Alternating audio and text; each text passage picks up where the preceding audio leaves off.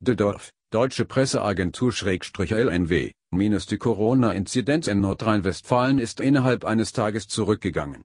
Nach Angaben des Robert-Koch-Instituts am Donnerstag lag die Zahl der Neuinfektionen pro 100.000 Einwohner in den vergangenen sieben Tagen bei 1.314,7 nach 1.358,5 am Mittwoch die bundesweite 7-Tage-Inzidenz wurde mit 1625,1 deutlich höher angegeben als in Nordrhein-Westfalen.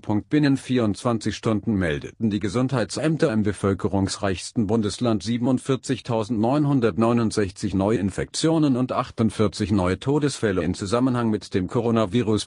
Die Unterschiede im Land sind derzeit groß. Die höchste Inzidenz verzeichneten am Donnerstag weiter die Kreise Minden-Lübbecke mit 2673,5 und Coesfeld 2252,3.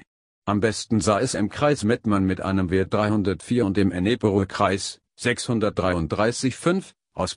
Die sogenannte Hospitalisierungsinzidenz ging ebenfalls zurück von 726 Mittwoch auf 703 am Donnerstag. Die Kennziffer bezeichnet die Zahl der in Kliniken aufgenommenen Corona-Infizierten je 100.000 Einwohner innerhalb von sieben Tagen der Anteil der Covid-19-Patientinnen und Patienten auf den Intensivstationen lag bei 8,8% Copyright Deutsche Presseagentur Infocom Deutsche Presseagentur Doppelpunkt 2203319973980883